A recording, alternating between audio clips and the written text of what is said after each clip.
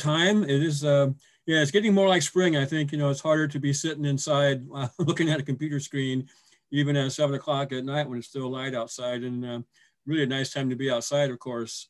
So yeah, it's good that um, I think um, it's time to end these and spend more time outside looking at the real thing, the real plants and flora and fauna. So, so we're, yeah, we're going to depart from the usual plant ID strategy.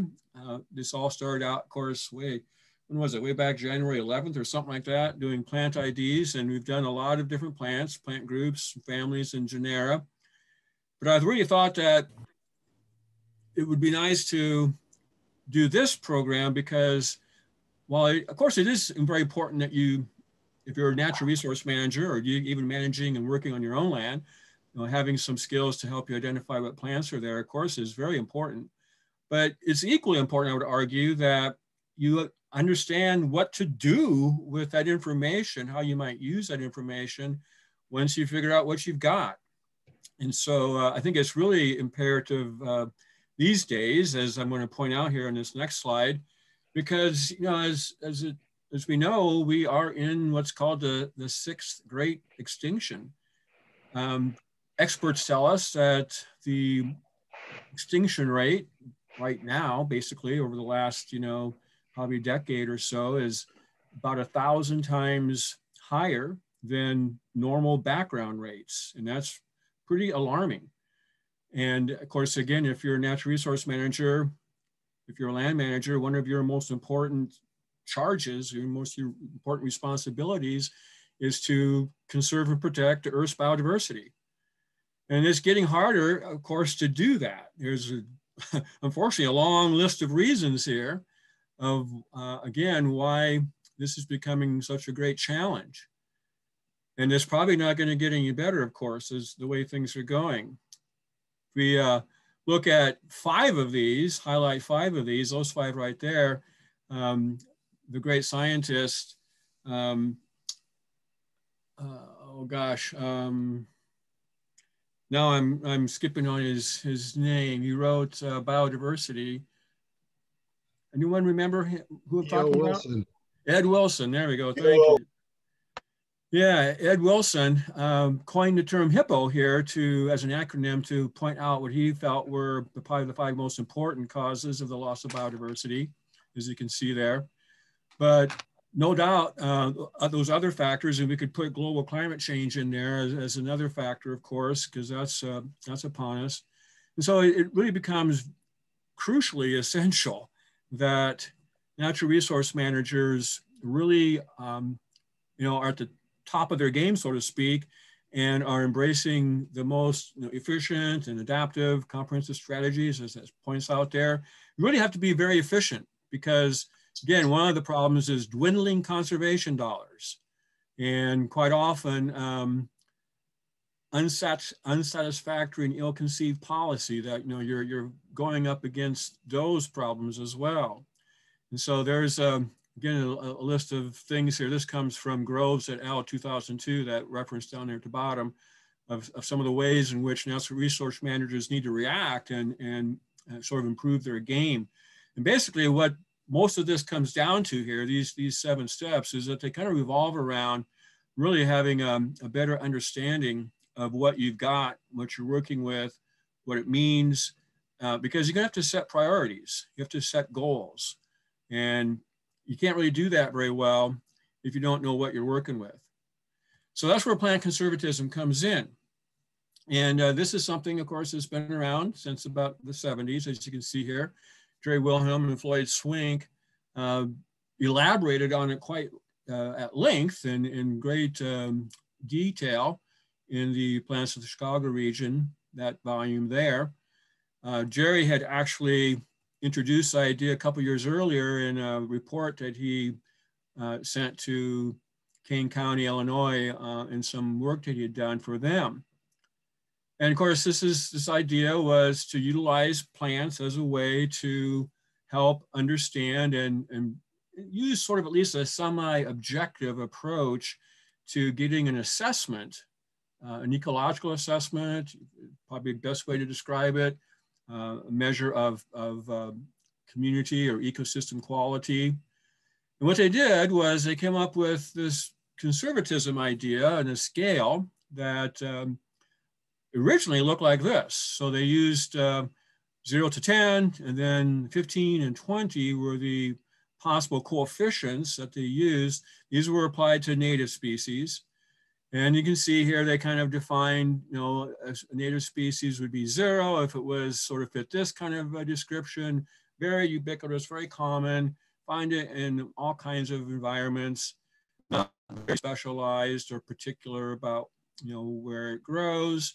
And then we go up the scale, getting more conservative, um, five, a little bit more of a um, specific type of community or environment that it's going to be found in, more of a, an advanced successional phase. And we're going to see how succession works into this.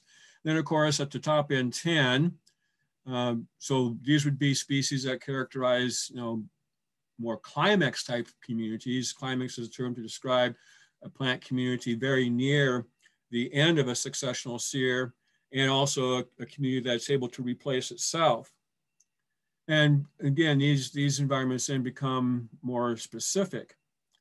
They also used 15 and 20, as you can see down here, to provide even an added level of conservatism, you know, higher amount yet. Uh, obviously 15 and 20 are one and a half and two times a value of, of a 10 uh, basically apply to, excuse me, to threatened or endangered, otherwise rare species. They also utilized um, this scale for non-native species, excuse me, um, going from zero to a negative three or from zero to a two, using again these descriptions you see here. So uh, zero, of course, would mean this is a non-native species. It's basically sort of detrimental. Now, they looked at it in a very, very broad way, though, uh, looking at you know undermining the quality of the of the community, poisonous or illegal. I'm not sure what illegal means, but uh, exhibit preemptive roles. Preemptive means that they take over space easily and occupy space and prevent other perhaps native species from being able to establish. So maybe a minus one, two, or three for those. Zero, these would be non-native species that really don't have any, at least they perceive not much impact or any kind of effect really on what's happening in those plant communities. And then they even gave some non-native species positive values if they thought that it actually has some kind of you know, value, as, as, as you can see here, is perhaps uh, providing some wildlife food, or, and this gets very subjective, you know, are interesting or showy. Um, that's getting into no more, I guess, a, a, human perception of what we like and what we don't like. Well, as it turns out that the 15 and 20 aspect up here and the non-native uh, component down here really didn't hang on at all very well in this as it as it got to uh, sort of spread to other states and was kind of dropped those we don't really see much anymore.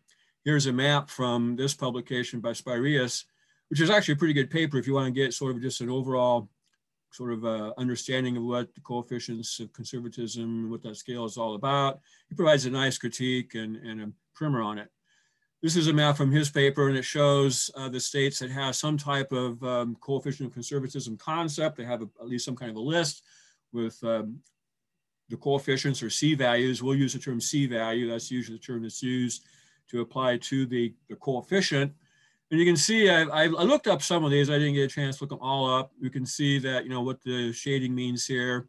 The gray means um, the, the uh, species, the complete flora has been assigned, the native flora has been assigned a C value, at least one set of, of C value scores. The dark ones, of course, say that there's actually more than one set of scores. And actually that's, that's how Iowa should be colored. It should be dark because there is the one list that's general for the entire flora of Iowa, but then there's also another subset list. I worked with uh, Bill and Dan Blankenship and Brian Hazlitt to produce a list for the Loess Hills. So we have a second set of scores, but it's just, just for the Loess Hills. And then there's some partial floras, as you can see with, with the cross-hatching, which they've done for like down here in Louisiana, for example, there's some coefficients that have been published for the, the coastal prairies. but not for the, the rest of the, of the flora. What I've superimposed here is, you know, the, the general trend that we see in terms of how they use this. Um, the zero to 10 means that they've, again, basically adopted just this portion right here, zero to 10. Native species are assigned either zero or up to a 10 as their C value. And that's really, you know, pretty consistent. You can see a couple exceptions. Iowa here, well, the first list was zero to 10 as we're gonna talk about. The revised list is now changed to one to 10. And also the New York and New England states also have the same, they use the same concept there, the same philosophy uh, of starting the, non, the native species uh, at one rather than starting them at, at zero. The asterisk here means that there's a confidence score that's also been provided. And that's true again with the revised list I'm going to be showing you. This is also a confidence score. Uh, the uh, number sign here means that what Louisiana has done, at least on the coastal prairies, is they've adopted a negative value, a C value, a negative value for non-native species. Uh, not very many states do that, as you can see. That's the only place where you see that. And what the B means right here for Ohio is that they've actually done it for um, all the vascular plants. That's what all of these lists are for the vascular plants, but Ohio's also done it for bryophytes as well, so the mosses. So you can see that it's pretty well entrenched throughout most of the country. The, the western states and southern southwestern states haven't picked up on it yet, apparently. So here's a definition of what conservatism means. This actually comes from the uh, Washington publication where they, uh, Rocchio and Crawford published their C values for their flora. And, and this is a pretty good one. I think that this, this is why I used it here, is because I think it does really um, completely sort of in, um, embrace what I think we mean, what should be mean, or what you should be thinking about when you describe what a conservative species is. And they, they use the definition of intact ecosystems in here, use that, that um, in their definition. So I've also defined what, again, what Rocchio and Crawford say what an intact ecosystem is. And this is basically, again, looking at an ecosystem that would be um, representative of the historic ecosystems, the pre-European ecosystems that were, were present. All right, so one question, of course, is does plant conservatism work? Is it, because again, as you see in that map, not all states are embracing it. And I've talked to people uh, and seen some, some papers that, um, and that, that Spyreas paper does provide a critique in which, you know, there's some questioning, well, does this even make sense to do this? Uh, on one side, I would say on the pro side, so arguing, yes, it does work. This is a legitimate uh, endeavor. I would say these are some reasons for saying that. Plants are strong, strongly, obviously tied to the environments. They're, they're immobile, they're not moving around. It would be much harder to do this with an animal species. I know I've not really seen this apply to any anything. I've heard maybe maybe someone was doing something for butterflies maybe or some insects, but I've not really seen that. And it's again because you know because animals are mobile, uh, it's, it's just a little bit less, you're less able to make that strong connection between them and the environment. If they don't like something about the environment, they can, they can leave. Plants can't do that. And so that's, that's one reason going for this, that, that helps to make sense.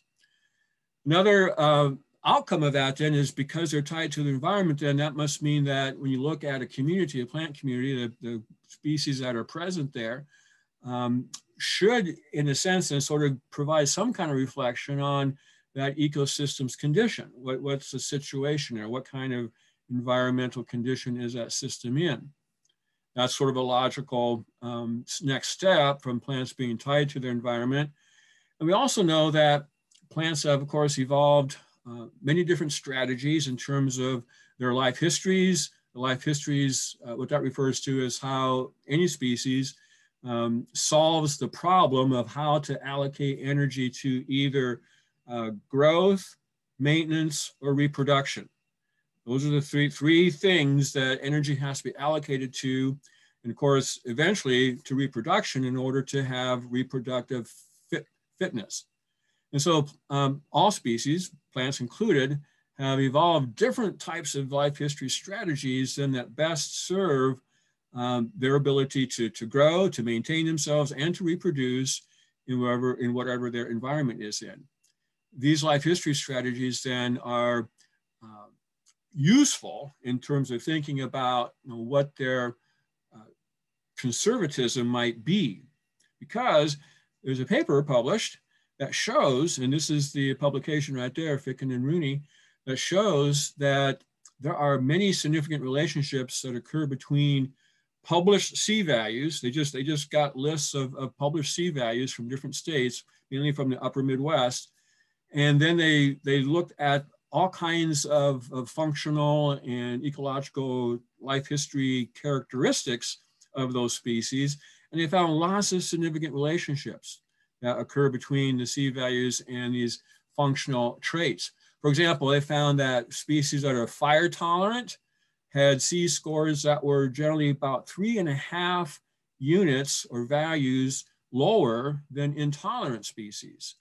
We also found that shade tolerant species had C scores or values that were on average four units higher than species that are intolerant to, to shade. And, and there's, there's, several more. Uh, so there's a pretty strong connection there then between uh, life history strategies, functional traits, uh, evolutionarily determined characteristics of plants and what their C values are. To me, that, that, that says that there's a, a strong um, positive uh, then reinforcement that, that these, this idea is, is, is going to work, that, that it makes sense. On the other side, some of the critiques, and we won't spend too much time on these, but one is that um, plant conservatism is beset with circularity. What they're talking about here is that basically the idea is, is that so we we assign C values based on our experiences of where we see these plants and we judge those places, those habitats, and, and, and, and figure out whether they're, you know, what kind of quality they are by the, by the species composition, by what plants we find there. So you're using the plants to tell you whether it's, you know, high quality, medium quality, or low quality. And then you're, then you're trying to, again, put a C value on the plants that are occurring there. So you can see there is a little bit of circularity there. And that's, that's, that's true to some extent, but it's really, does, does that, that does not mean that it has to be a problem does not mean that this then is something that has to sort of just negate this as something that's not going to work. When, when the group that I worked with, you're going to meet these people in a little bit, sort of about um, assigning C values to Iowa plants, we, we use it um, many characteristics. Yeah, we, we, we think about the areas that we see them, and we kind of you know have some kind of judgment on what kind of quality those areas are by the by the flora that we saw there. But also, I would argue we use uh, physical aspects of the environment. Uh, we use structural aspects of the community to help us, to help inform us again, of sort of what, what kind of quality that, that plant community was. Another one that's uh, critique is plant conservatism is subjective. Uh, yes, that's true. It's somewhat subjective. Um, but that again doesn't mean that we don't have any value in this. I would say again, there is always, you know, some subjectivity probably in, in much of what we do. Uh, when we assign these C values again, it's being done by a group of botanists, field botanists with, well, in case, in our case, probably, um, I, I hate to guess, but probably over, clearly over a hundred years of experience uh, seeing plants in the field under different conditions, different environments. And so it's that collective wisdom by this group of people that, that is used to assign what those C values are. So it's, it's not like we're just taking a guess. We're, we're using this collective wisdom and, and, and discussing and arguing uh, you know, where we think that C value should, should go. Another um, critique is that rare species are biased towards high C values. Again, that is true. It is true that Rare species tend to have higher C values. There is clearly a correlation between um, C values and rare species. But again, it's critical to, and this is very critical for you to understand, uh, that conservatism and rarity are not the same thing at all. We're not measuring the same thing at all. It so happens that in some cases, uh, it is true that rare species are also conservative species. That's really not unusual. You sort of expect that to some extent. But there's many cases of, of you know, conservative species that are um, low conservative species and may be uh, threatened or endangered. Uh, because again, threatened and endangered can come about for many different reasons. Uh, mainly, you know, habitat loss, but also sort of how those species, um, how their biogeo how their biogeography sort of fits with political state boundaries. So again, um, not not a problem really. We, we expect that to some extent. Just don't make the mistake of thinking that they are uh, that they mean the same thing. There's a correlation. Correlation means that they're weakly related to each other. They tend to go up together or go down together, but they don't mean the same thing. And then another uh, critique is that spe species C values are imprecise. And I would say, yep, that's true. Uh, imprecision is inherent in much of the ecological measurements that we do. It's difficult to measure things precisely. And again, this is certainly something that's difficult to measure in any precise way. Again, I go back to the, the collective wisdom of a group of, of people who have you know, um, a long history and, and experience of, of seeing these species. One of the, the traits of plants, though, that we can't get around, we can't do anything about, that plants have, is acclimation. Acclimation is the ability for individuals to acclimate or to adjust their phenotypes, to adjust their morphology or adjust their physiology, adjust their anatomy in ways that make them better suited to the environment. But it happens at an individual level. It is something that, that species are able to do because they are adapted to be able to acclimate or not, but it happens at an individual level. So in that sense, it's, it's not the same as adaptation. It's, it's different. Plants are very good at acclimation, I think, basically because they're strongly tied to their environment. Um, they another way of describing this that's been used is is the is plasticity. They they're able to again individuals can can change their morphology in ways again that make them better suited to where they are. That makes it excuse me, that makes them then better able to cope with a range of environments. And so it is possible that uh, you can see, for example, um, uh, just as a quick example, species we're going to be seeing here soon, the uh, white trout lily, the spring ephemeral, we um, tend to think of that as a fairly conservative species. I don't remember what its coefficient is or C value, probably at least a seven or something like that, which is in the high, high range.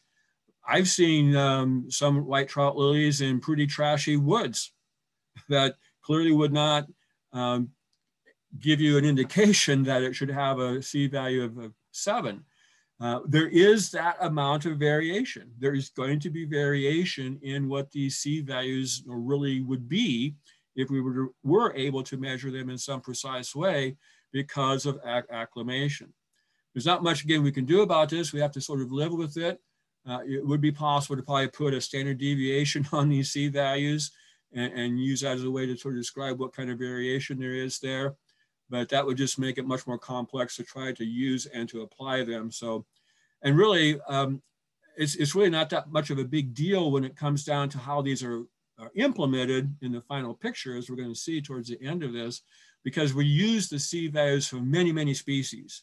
And so while there are, there may be some, you know, there's going to be variation in those, we tend to see that it sort of, you know, uh, kind of cancels out somewhat. And so that the, the FQIs, for example, Floristic Quality Index, uh, which is a way of using the C values, uh, tends to be more precise than what you would, would think it would be because of that. There are some other things that I didn't put on here that are also critiqued. Uh, one is that um, the plant conservatism concepts as we're seeing here don't really have any mechanism for incorporating species abundance. I would say baloney on that there certainly is. You just have to do it, and I'll show you how. And there's another uh, critique that says that, uh, you know, there's too much emphasis placed on conservatism and the FQI, the floristic quality assessments. You know, it's just a single measurement. It has too much influence on on decisions that have to be made about you know what you're going to do or what what properties you might try to acquire or things of that nature. Um, a more comprehensive you know type of assessment should be done. And I would say that criticism is completely justifiable. You shouldn't use just the FQI as the only measure of uh, of assessment, of ecological assessment. You should use many variables. I'm going to show you again how you do that. Uh, it's not that hard. So those two critiques can easily be, be solved. Um, we have a question here, if that's okay. Sure. Okay, if higher conservatism species are later or tend to be later successional species, does it make sense to include them at the onset of a prairie reconstruction or sometime afterwards, such as interseeding at a later time? That's a good question. I would probably consider them uh, at the beginning because what, what that means is those species generally take much more time to establish, much more time to mature, much more time to get to a, a, re, a reproductive and uh, you know fully functioning population, you might say. And so they they reach that point then you know some years after the seeding. Quick example I've seen with my own work on prairie reconstruction along I-35 in Story County was that um, lead plant, we didn't really start seeing lead plant showing up and, and even seeing the plants until probably three to four years into the seeding. And then um, mature plants and plants, you know, re reproducing, um, I don't think we even saw any after seven years. So, so I, I, think it would, you know, most likely be best to go, and go ahead and include those at the very, very beginning. Um, if you're going to put them in later, you'd have to probably make some disturbances of some kind in order to uh, give them the advantage that you're going to need to, to get established. Okay, so here is, again, uh, how to think about this concept of conservatism. Uh, I've got a gradient here that shows the idea of succession, and here's our numbers from zero to 10. And again, lower numbers, lower C values would represent species that tend to occupy and establish in early successional environments after disturbances. So a, a, disturbance happens and succession begins. And so those first communities that occupy those sites are called early successional. And then if no other disturbances happen over time, the communities gradually change through successional processes. We can't get into all those tonight into uh, something that's a little bit different. This is going to be a different community than this one here with different species. And finally, getting a late succession or more of a climax type of community that's able to replace itself. So again, this is again a way of thinking about um, where these coefficients or C values go. Another way of, of thinking about that is with disturbance. And so again, uh, and especially important here is there's a negative correlation, basically increasing coefficient, decreasing, um, or of course, increasing favorable response to human disturbance. This is, this is increasing this way. So as species become more and more adept at dealing with human disturbances, anthropogenic disturbances, um, they deserve lower and lower C, C value scores. And of course, the cor corollary of that is that then those species that have higher C values, these are species that have this increasing requirement for natural and pristine environments, environments that lack human disturbance. So human disturbance is a very important part of this. Uh, and we're going to talk a little bit about that in just a second here. So people ask me again, well, what what's a good easy way of thinking about what a you know a c value means so here's what i would say given a c value of three for example say some species has a c value of three what that tells me the way i like to think about it and this is often the way that, that the, the group of us thought about this as we tried to um, again come up with the, the best c value for a species is that the presence of this species whatever it might be in a community that would suggest to me that there's about a 30% probability that that community where this species was found is a natural pristine ecosystem. That's a good way to think about it. Uh, so again, if, if someone brought me a plant I don't I have no idea where it came from. I looked at it and said, oh, this is this has a C value of three. I said, well, the place where you got this has a 30% probability of being a, a really nice, natural, pristine place. Okay, so coming back to disturbances. So this is a difficult part of assigning C values then, is we have to sort of separate anthropogenic disturbances in a sense from natural disturbances. And that's not always easy. But what we tried to do again in our committee, in our work group, was to think about it this way. We, we thought about anthropogenic disturbances as these types of places. And if, and if we see species really increasing or, or really being favored by these kinds of places, then that would indicate again they should have a lower uh, C, C value. Natural disturbances, we have to separate into types that promote either secondary succession or primary succession. So there's two types of succession that occur, secondary or primary. Uh, secondary is a type of succession that occurs when disturbance occurs, but there's still a lot of biological legacy. I like to use the term biological legacy, meaning there's still lots of life, biological life present on the site, namely seed banks and root systems. And so uh, that means that the starting point after that disturbance and those, those early successional communities have a whole different you know, type of environment that they're dealing with. They've got fully intact soil. The soil is still there. Soil is biological le legacy.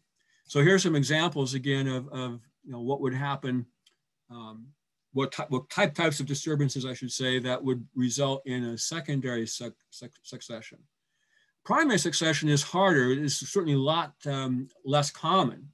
Uh, and, and, we don't really see disturbances around anymore that cause primary succession. But a couple of examples where we would still be seeing some of the effects of that would be uh, any kind of uh, aeolian sand dunes where the sand deposits are fairly deep. So uh, of course, most of our sand prairies that are growing in some of these environments have been there for thousands of years. So uh, it, they're quite a ways down the road in terms of where their, where the su su succession is. But some, some places like Big Sand Mound, for example, which has upwards of um, oh, 60 feet of, of, sand at least, and, and some places are uh, pretty barren in terms of, you know, the amount of vegetation there. That's a little bit more representative of still sort of a primary successional type of in, environment. Paleosols are really, really, really old, old ancient soils that are exposed at the land surface. And we see some of those in the Southern Iowa drift plain. These are places, again, primary succession, and the next slide is going to help us understand this because a, good way to think about plants and again, how they fit into succession and into uh, life history strategies is with the Grime's triangle, which is uh, basically taking what many of you probably know about, you know, R and K selection, life history strategies for R and K selection for mammals and birds and reptiles and, and insects. But for plants, we say that doesn't work very well because plants are different and plants, again, are going to allocate energy to any one of those three things I mentioned, either to maintenance. If they allocate a lot of energy to maintenance, they're going to be a stress tolerator. Let's just go through the slides here. Um, if there are selected over here, a ruderal, they're allocating energy more to reproduction. Their strategy is to colonize relatively fertile disturbances, usually secondary successional kinds of sites. If they are a C-selected species, then their strategies allocate energy more to growth so that they uh, have a strategy that's able to compete better, again, in relatively fertile, but now late successional sites. And if they are better described as an S-selected species, that means they allocate energy to maintenance. Their strategy is just to survive survive stressful environments, usually primary successional environments, because these usually have very stressful conditions like low fertility, high temperatures, low moisture. Uh, those are the kinds of stressors in the environment then that would, would say, well, the best way to, to deal with this is to just maintain yourself. So that gives us the S, C, and R selected species, which again are ways of allocating energy to one of those, one of those three options that, that plants have. Now I bring this up because it's easy for, um, again, I think people who aren't really thinking about this or keen on this to throw these two species both into the same category as being weedy species, being a ruderal species, but really they're not. Uh, this is giant ragweed and it's definitely a good example of a ruderal species. It loves to colonize disturbances in, in uh, fertile soil. But this is Prairie Threeawn. Prairie Threeawn uh, is, is more adept at coping in really stressful environments. Some of those um, paleosols or some of those really deep sand environments where again, the fertility is very, very low. And so they're dealing with low nutrient levels. In fact, Prairie Threeawn is, um, has some uh, allelopathic chemicals that it produces to actually help decrease the uh, abundance of, of rhizobium bacteria, the bacteria that would uh, form root nodules with legumes and, and produce nitrogen and actually slowly increase the fertility of the soil. Uh, Prairie Threeawn doesn't want that to happen because they want to be able to, again, they compete better with other species in those low, low fertility sites. So again, uh, we, would, we would not put these together and, and say they, these are both you know, low C value plants because they're, they're, they have different strategies. This is an, more of an S selected species. This is an R selected species. This one deserves a low C value. This one does not. So in succession, then ruderals in, in the secondary succession, these species know, gradually become more and more C-selected species through, through time. Ruderals are replaced by more C-selected species. In uh, primary succession, which takes a lot longer time, is much slower. That's why I put the dash line in there. It's more of this kind of situation, where S-selected species are gradually replaced by C-selected species. All right, so the first um, list of coefficients was done in 1999 and published in 2000 by this group of uh, eight people here. You can uh, see their names from left to right across the bottom here. It was facilitated by none other than Jerry Wilhelm. The, the, the arrow there points at Jerry. He came over to the Prairie Learning Center and, and just again, uh, not so much as an expert on Iowa plants, but as an expert on the concept of plant conservatism and and help um, the other seven folks that you see um, you know, think about uh, what are the what are the factors and what what, what characteristics and, and what kind of thought processing do you go through as to try to assign the C values to all the native plants.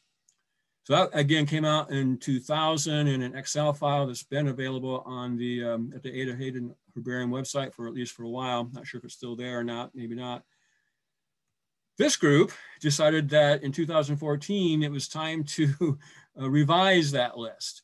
And so there's uh, five members of the original team here and two new members, myself and Mark Riedelreckner. Uh, so again, seven people.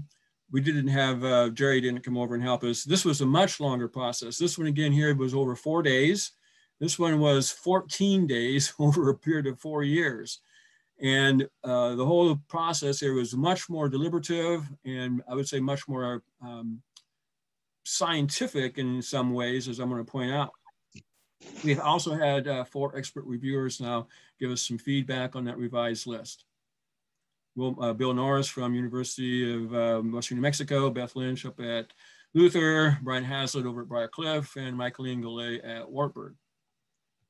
So what did we do? Well, the first big issue that we tackled, and, and as I kind of alluded to this earlier in that slide on the map, is that, you know, in the original list, under the influence of Jerry Wilhelm, I would say, uh, they gave zeros to many native species. If they were considered to be a native ruderal species, R-selected species, that didn't really convey much uh, idea about, you know, the quality of the environment, they gave those species zeros. Well, the problem with that, that I brought up to my group, because I wanted this to change, was that that makes them equal to a non-native species because non-native species are zero by default. Non-native species don't get a coefficient because they're not native, of course, they don't even get one. If, so if you include them in the analysis though, in the assessment, they are by default zeros. So you, you're, you're not distinguishing between these two groups. And I thought that was a real problem because I would agree and actually got into a fairly long discussion about this with, with Jerry. Um, he, we asked him to review our list, one of these uh, reviewers, but he declined to review just on the basis of that, that we had made this change and he um, didn't really approve of that.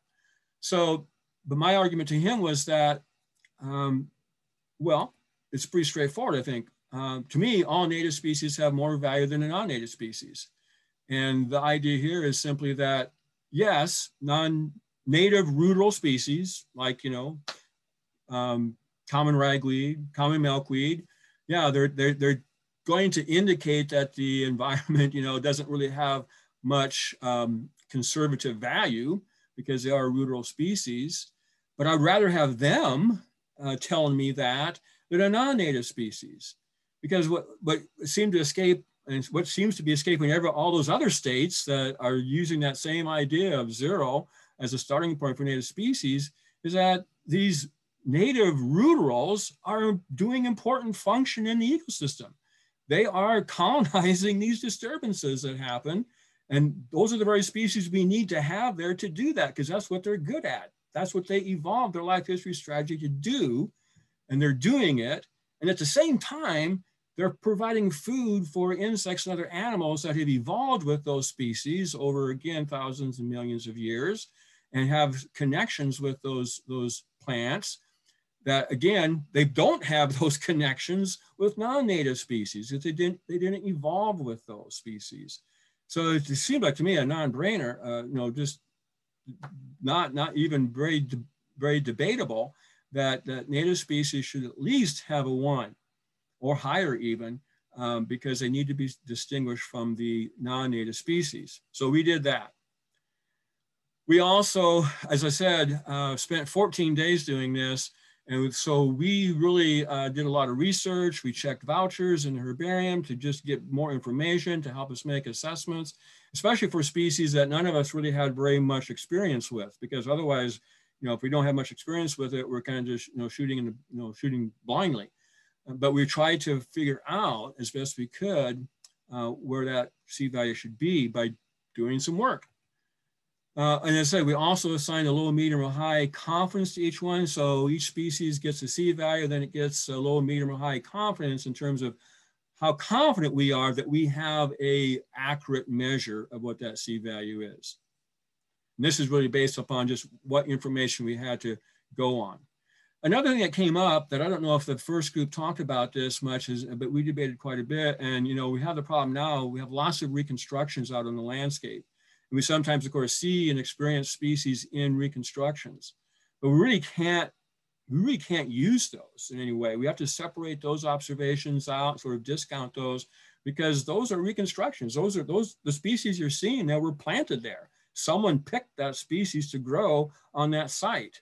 Uh, it's it's it's not the same thing again as looking at at what nature has has done. So um, we made sure to do that.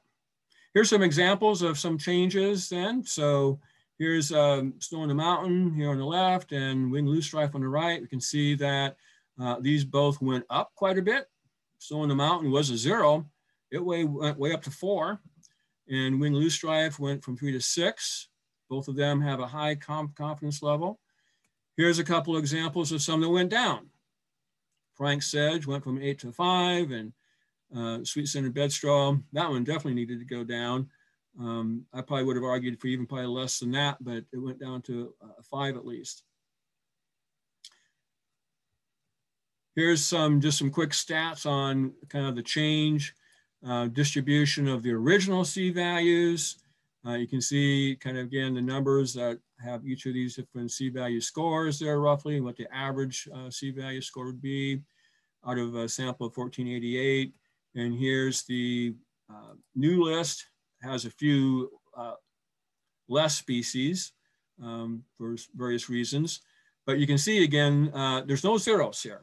So there was a shift upward basically as we shifted, you know, species upward some, somewhat. So the mean did go up a little bit.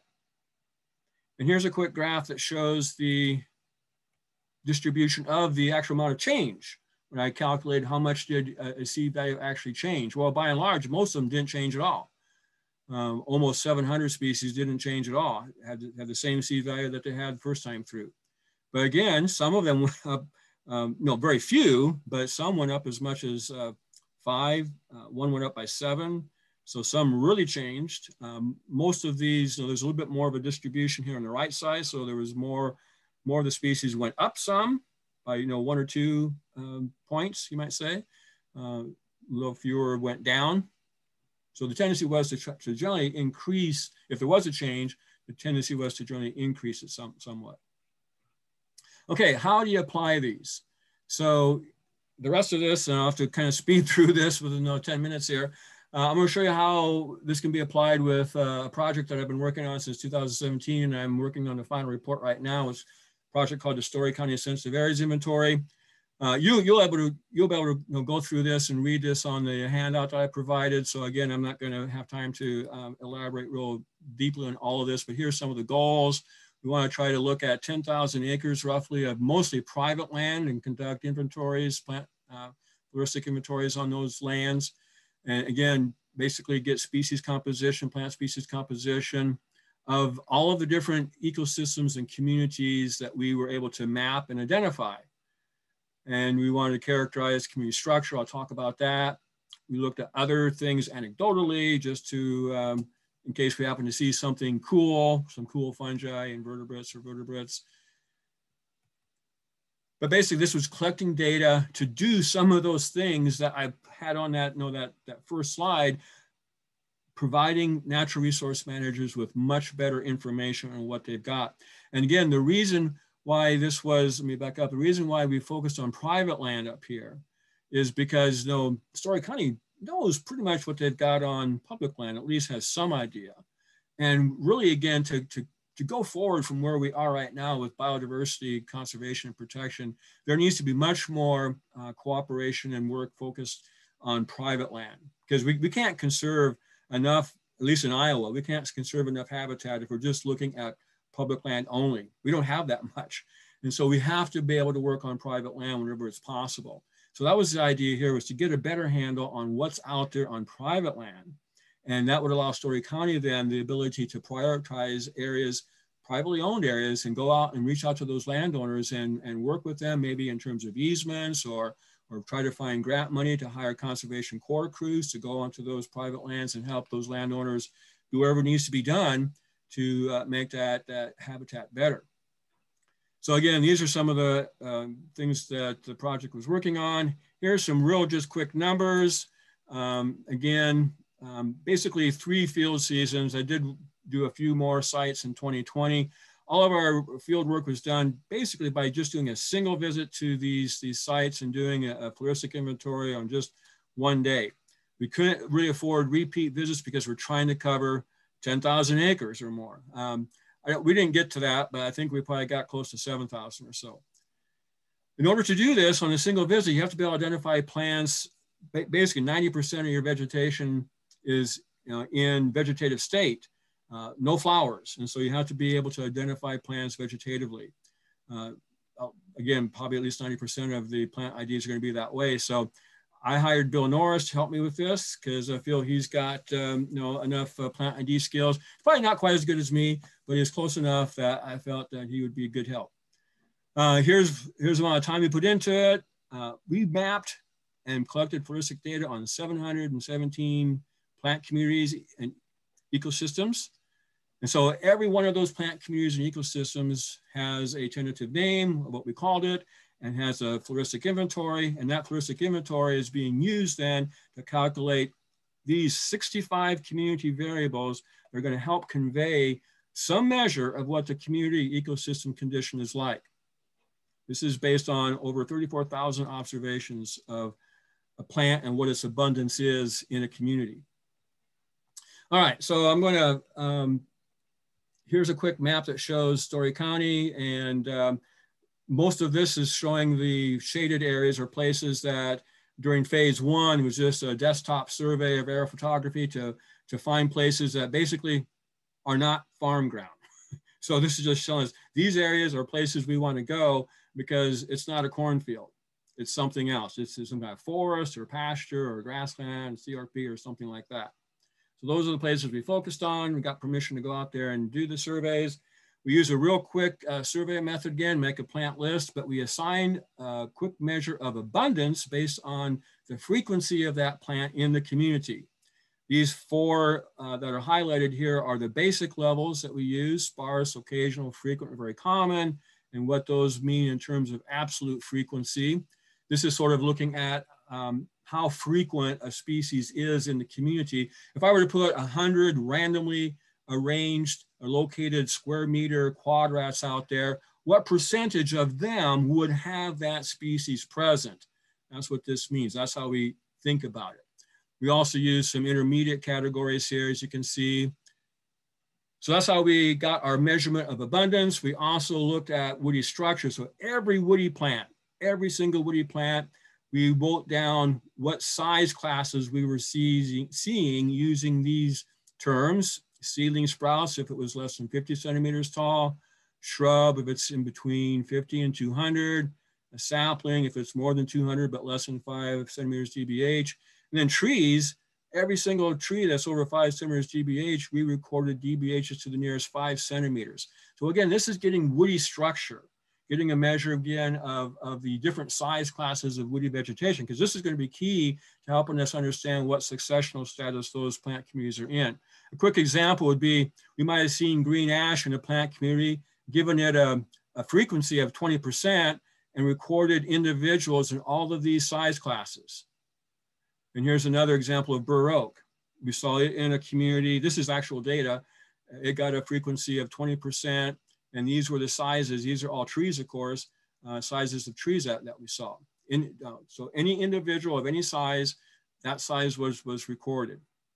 We didn't record how many trees, just that the, there is at least, a, we know there's at least one stem that's present in this community that is in these different si sizes.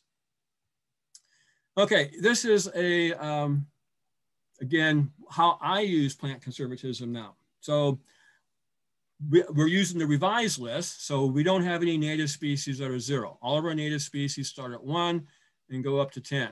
I also use negative coefficients for the invasive non-native species. Every single non-native species gets a negative coefficient. So for example, in this case here, um, whoops, sorry, um, Canada thistle gets a negative three because it's really bad. Common evening primrose is a two, cardinal flower is a six, and uh, this is prairie gray sedge, Carex conoidea is an actual 10. These are all species that we had. So I'm using negative species because, or excuse me, using negative coefficients because I want to reflect that negative effect that those species have on the quality. Another okay. question here. Okay, sure. Under a scenario of climate change, would the non-native species today become the natives of tomorrow?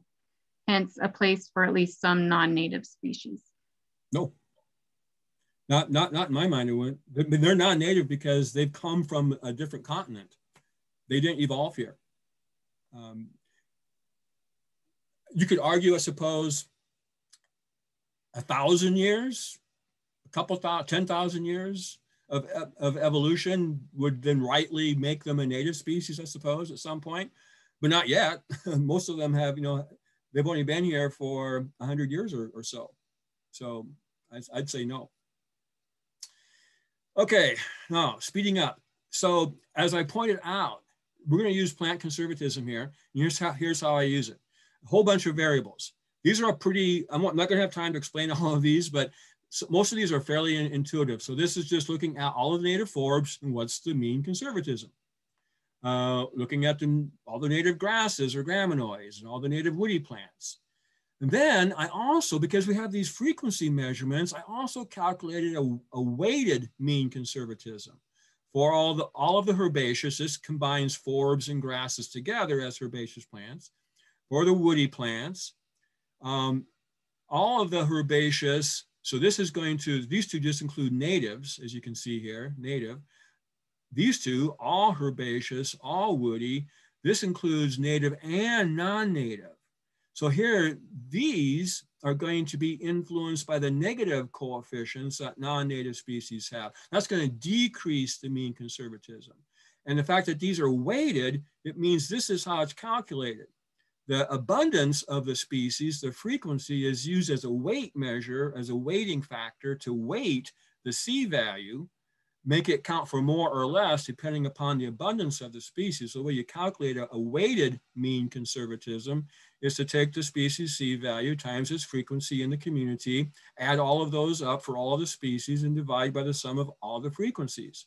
Again, this is just going to make species that are more abundant, they're going to have a, a bigger effect on what that mean conservatism is. I think it's a better measure of what the uh, quality is going to be. These up here are not weighted. All the species up here count for the same amount. So rare species up here have the same effect as a common species. Down here, common species have more of an effect than rare species. Um, this is called the number of species that were high conservative by definition, a C value of seven or more. So just how many species have a C value greater than or greater or equal to seven and how many are low conservative, have a C value of, of one or two. Then I look at the percentage of, of the number of these species and what percentage of those um, is there compared to the number of native species that we have? What percentage is that? So again, there's, there's lots of, of, variables here. I don't have time to explain all of them. Um, this is a way of getting a measure of kind of what the negative effect of non-native species is. That's how it's calculated there. Uh, various kinds of math. And then the most, one of the most important things though for conservatism is what's called the FQI, the Floristic Quality Index. I did two of them, one for just looking at just the native species and, and not weighting them. All native species have the same weight. Then I did one for all species, but using a weighted measure for that. And so again, FQI is just, it takes the, the mean conservatism, whatever it might be, uh, if it's weighted or not, takes that times the square root of the richness, the number of species that uh, go into this, this mean. And that gives you the FQI. Well, again, so as pointed out, you know, using just one variable, FQI, especially, you know, is, is you shouldn't rely just on one. So I'm going to have to buzz through the rest of these, but I calculated a whole lot more variables. I don't use just one variable. There's all kinds of plant richness variables. It's just simply looking at the number of species. That's what richness is, the number of species. These are pretty intuitive, the numbers of species in those different uh, cl classes. We separated out, and this is, again, something that most surveys don't species that are native to Iowa, but not native to Story County. Yeah, because those are problems. We can't just just say you know, it's native to Iowa. We have to think about what's native to the county that we're working in. Most of these species, and there were 20 of these species, are in Story County because they were planted by people who didn't know what they were doing. And they planted species that are not native to Story County. Uh, more richness uh, variables, because we have measurements of frequency, there's, there's all kinds of variables that reflect, again, the frequency of species and all these different groups. Going to really buzz through these, sorry. Um, some of these are fairly intuitive, others not quite so much, but uh, you can always ask me questions. I calculate a prairie indicator value on a scale of one to, or zero to five. Uh, that's based on this right here, this scale. This species here, common four o'clock would be zero. I don't consider it to be a, a, a good indicator of prairie. Um, Hoary Vervain, I would give a one. It's somewhat of an indicator of prairie. Uh, while bergamot, I give a two. Uh, Scribner's panic, panic grass. Let's see, where am I at here? Oh, I'm sorry. Um, this one is a is, is a one. I've got five right here, and that corresponds to these five right here. So sorry, this one would be a one, the wild four o'clock. It's somewhat of a prairie indicator, not real good, but somewhat. Uh, Hoary Vervain's a two, Bergamot's a three, Scribner's Panic Grass is a four, and Prairie Blazing Star is a five. I use these then to calculate uh, various um, variables that describe the quality of, of, of prairie. Uh, I use the wetland affinity variables. Uh, these are the wetland affinity values, the scores that are provided by the Fish and Wildlife Service that are used in wetland mitigation work. And I use these to calculate these five variables. I use those woody structural variables to calculate all of these variables. Uh, again, um, more times needed to go through this. I calculate old growth in, indices based on the sizes of trees that we record out there. That's again why we, we record the sizes of trees. So I can calculate this old growth measure here. Uh, I won't have time to go through this. This ex just explains how that's done. What I want to get to is this then. So oh, that's 65 variables. And you can use those 65 variables to, to glean all kinds of information about every single community that we've mapped and we have a species list for. And, and all those different variables tell you different things. I also wanted to provide Story County with, with a, a more concrete and, and like one number measure. And so I came up with this overall biodiversity conservation score. I take 10 of those variables that were in this previous list, and I take them and I standardize them to a scale of zero to 10. That's just doing some math. And then, then each, each one of these variable, each, each community has each of these variables, again, on a, on a scale from zero to 10, and just sum those up. Uh, and it's possible to get a, you know, a score of, of 100. If, if each of these is at the highest point it can be, each of these is going to be a 10. And you sum those up and a perfect score would be 100. So this conservation score is on a, on a range of zero to 100. And it gives a one number score on sort of the overall conservation value for biodiversity of that plant community. These seven right here are general in that they deal with uh, a, you know, basically any, any community, no matter what type, uh, again, could be evaluated on these cri cri criteria. Then I use these last three here. Each one of these is sort of specific to whether it's a prairie, then its, its prairie quality score is going to be important. Whether it's a forest, its native old growth score is going to be important, or whether it's a wetland, and then its wetland score is going to be important. So each of them have a chance to sort of shine in their own way because they are also evaluated on the basis of these three. These all sum to uh, 100. And just for a quick example, here's five sites in Story County. I, I here's the five, the, the 10 variables again. Here's the scores for um, five communities. I threw in Doolittle Prairie because that's the one that we did. It's, it's publicly owned, but we kind of did it as sort of a, a, a way of making comparisons because we know Doolittle Prairie is you know one of the best places in Story County. So we want to see what it scores. Well, it scores 91.7. So that seems pretty good. Now we have a frame of reference for comparing these other ones. This is a cool season grassland pasture on private land. This is a reconstructed prairie. This is an upland mixed forest, just a variety of different species. Uh, and then this is a, a, a more of a wetland, a, a wet swale. So again, the, this is the overall total conservation score. And also Story County can go in here and they can look at these and they can see, you know, well, which are the, which landowners have some of the best remaining remnant communities that we might want to work, work with. Okay, uh, I'm over, but I'm going to just quickly show you some more highlights. Um, here's a breakdown of the species again that we had. You can see the number of native, native to Iowa, but not Story County, and then not native to um, North, North America. Uh, 49 plant species we found that aren't in Eilers and Roosa. That's why Eilers and Roosa needs to be updated very badly. We had 24 new records for Story County. We had nine plant species that we found that were considered to probably be gone because they hadn't been seen since 1950. So we rediscovered these historic species. Eight of them were native, one of them non. And then the last one is there were 16 species we found on the list of endangered, threatened, or special concern. So lots of important information, of course, here for Story County. And lastly, some pictures. Here's uh, one of my favorite little remnant prairies that we found. Uh, it's the only place now, I think, in Story County for uh, plains frostweed, Helianthemum bicknellii. And it's one of a few sites in Story County for uh, Great Plains flat sedge, Cyperus filiculmis. It's kind of a uh, really dry, uh, more of a midgrass type of prairie dominated by um, sideoats grama. Here is a beautiful sedge meadow didn't even know existed in Story County on private land. found Lysimachia terrestris. This is a historic species, hadn't been seen since 1950.